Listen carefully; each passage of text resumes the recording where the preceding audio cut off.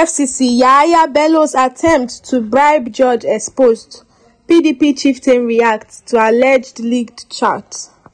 The 2023 People Democratic Party PDP candidate for Dekina Bassa Federal House of Representatives Usman Okai has brought to light an alleged attempt by former Kogi State Governor Yahaya Bello to bribe a judge.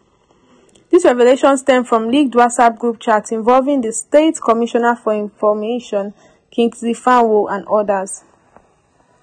Okai condemned Fanwo's involvement in the leaked group chat, urging him to refrain, refrain from further commentary. He accused the commissioner of being complicit in the various challenges facing Kogi State.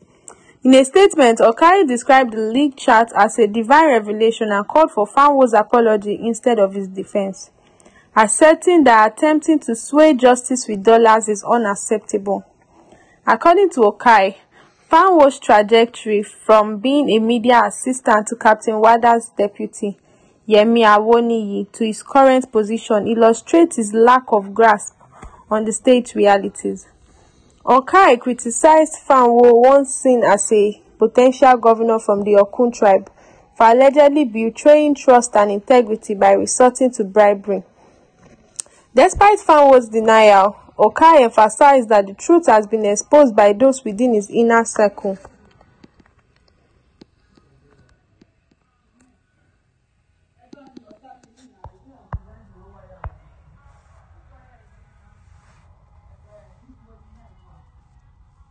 He accused Fanwo of being deceitful about the state's finances and suggested that the commissioner's loyalty to Yahaya Bello has clouded his judgment.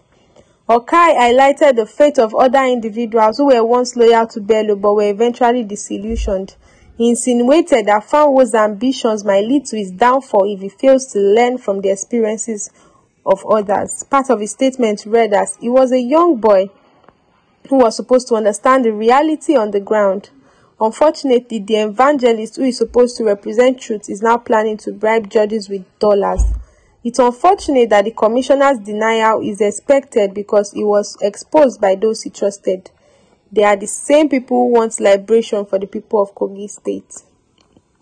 Describing Fanwo as a self-proclaimed evangelist who lacks genuine faith, Okai warned that ultimately justice will prevail he emphasized the importance of reporting the attempted bribery to relevant authorities for investigation.